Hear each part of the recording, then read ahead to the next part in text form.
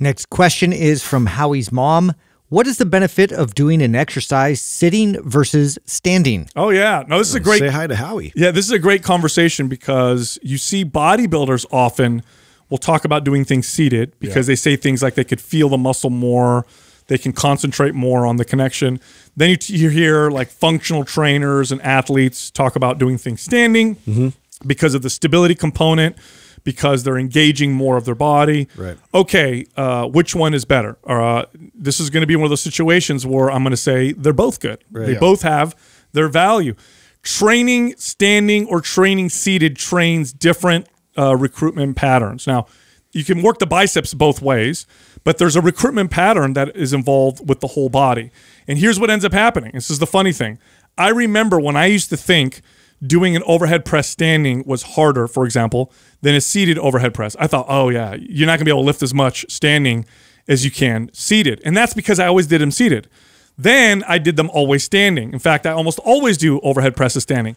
Now I can press more standing than I can seated. And all it highlights is you get you get good at one versus the other one. But What they both do the most of. Yeah, but they both have their value. I mean, how do you, I, I toggle just how I feel, right? So because I think they both have value, it's it's like some days I'm in like like Mr. Functional mode, and mm-hmm. everything I'm doing is like standing or challenging stability, and like that's the the goal of the workout of the day, right? It's mm-hmm. like oh today I want to just be really functional, and I love to do stuff like that when.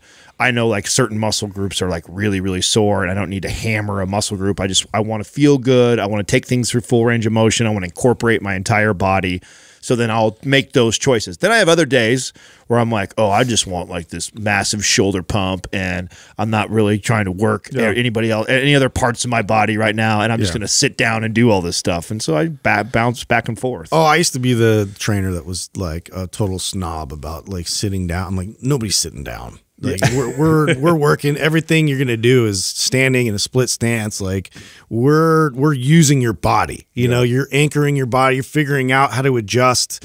Uh, you know, and compensate for that, and, and and be able to stabilize properly. So I was just always thinking in the functional realm, uh, and less in you know in the hypertrophy realm. And so it there's definitely a, a switch that happened for me once I started to kind of then again, like you said, like I, I went into sitting and, and doing overhead press even as an example, and, and I and I couldn't lift what I thought I could lift, and and it was really just a different stimulus and a different recruitment pattern that I wasn't applying, and so there's the- definite value in that. The truth is, though, if you were to only do one and, and not the other, um, if you had to pick. yeah, if you had to pick, Well, yeah, standing. standing because There's more for- carryover. Well, for the reason, like you, okay, you're never Mainly for my clients, I was always what I was. you're thinking. never going to find yourself sitting down in a chair having to lift 100 200 pounds over your head you just won't Where, or if you will i'll wait tell me where would you do that where would you sit down and then someone hands you 100 something pounds and you have to lift it over your head but there may be lots of times in your life where you have to pick something up you know while you're standing on the ground Yeah. and lift it over your head even playing with my son i do that all the time right so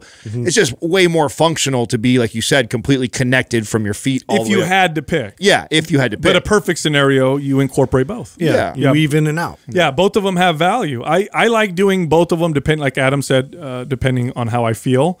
Um, if you had to pick one, uh, go standing. But look, this is, there's a reason why when you do different exercises that look very similar, they feel different. There's there's just a there's a reason for it. I mean, look, uh, I'll tell you what.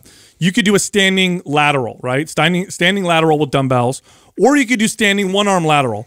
Same exercise feels different. It, all- it it totally does feel different, and they both have value. So, and that has to do with the, the way the body communicates with itself and how muscles work together. No muscle works in complete isolation. Yep. And so it's the combination of muscles. It's how you're holding yourself. It's the position of your body. Look at a, a Z press, seated Z press. I mean, that feels very different than a seated on a bench press, and definitely very different than a, a standing overhead press. Right. Uh, do they all have value? They do. yeah